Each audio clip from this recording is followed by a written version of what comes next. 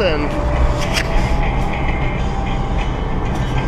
More. there's more up here. Just got a 21 of them a little off in the distance.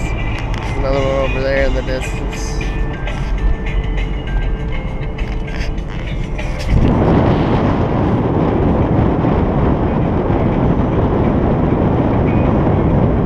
We can run about 30 miles an hour.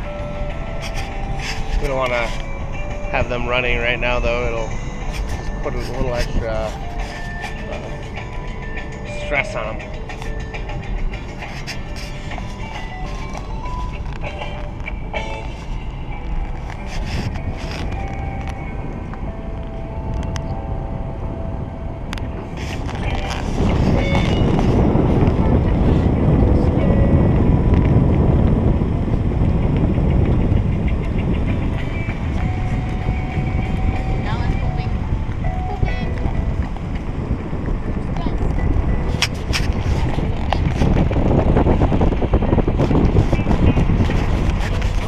Battery just had poop.